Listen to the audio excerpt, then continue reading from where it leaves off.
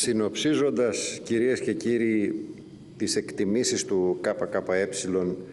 σε σχέση με μια συζήτηση που δεν ξεκίνησε βέβαια με αυτό το νομοσχέδιο, έχει προηγηθεί και ένα προηγούμενο νομοσχέδιο του πάλι του Υπουργείου Πολιτισμού. Νομίζουμε ότι τελικά όλη αυτή η αχαλήνωτη εμπορευματοποίηση της τέχνης και του πολιτισμού όλο, αυτός, όλος, όλο αυτό το σχέδιο του ασφικτικού ελέγχου του πολιτισμού από τους επιχειρηματικούς ομίλους οι συνέπειες θα είναι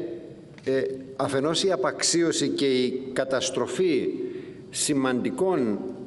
και όχι και τόσο κερδοφόρων τομέων και πεδίων του πολιτισμού και της τέχνης.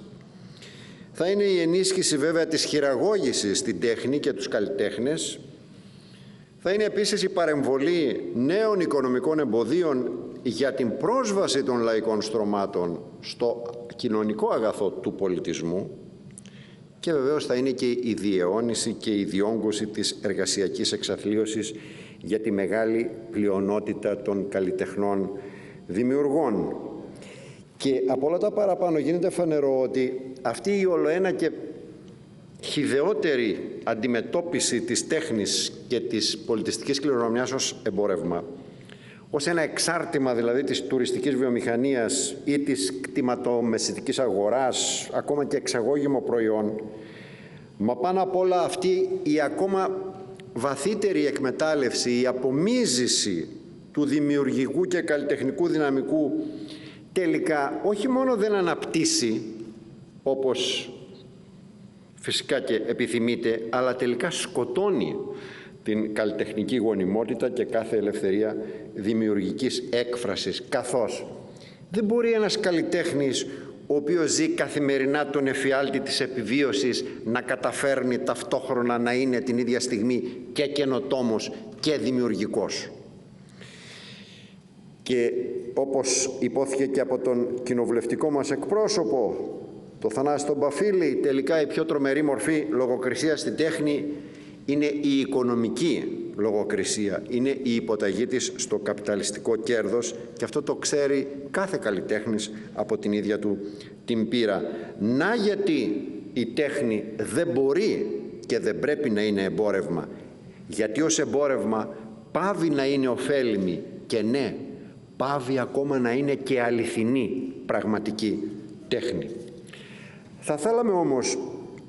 να πούμε δυο λόγια για ορισμένα ζητήματα που δεν προλάβαμε στη διάρκεια της πρωτολογίας μας να πούμε σχετικά με το Φεστιβάλ Αθηνών Επιδαύρου. Ψηφίζουμε παρόν,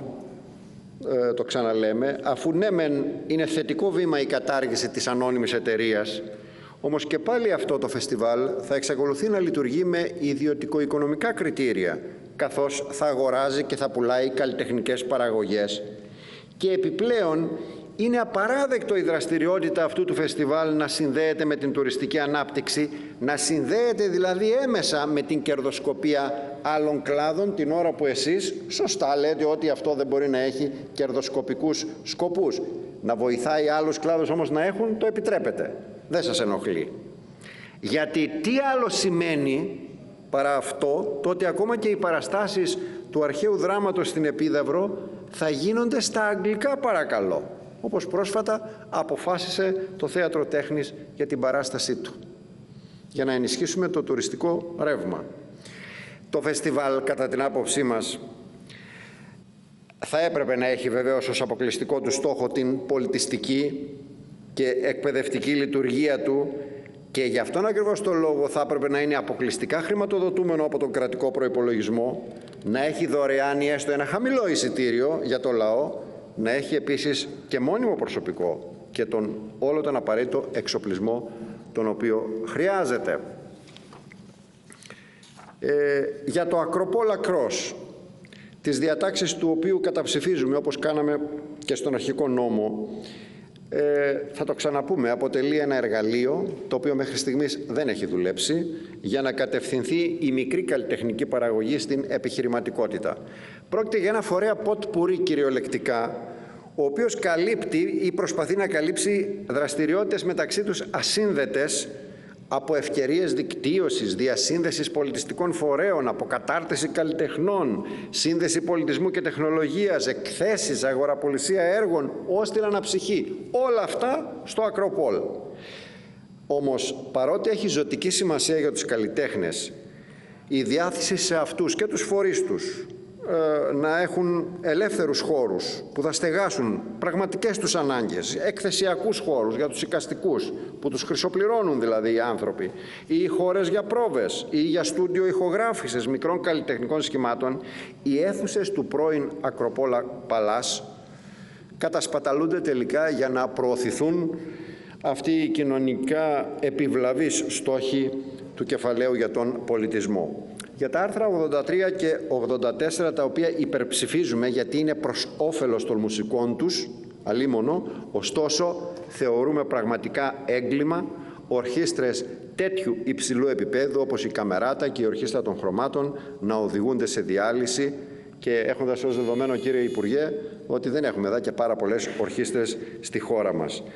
Ζητήσαμε το δικαίωμα της εύλογης αμοιβής να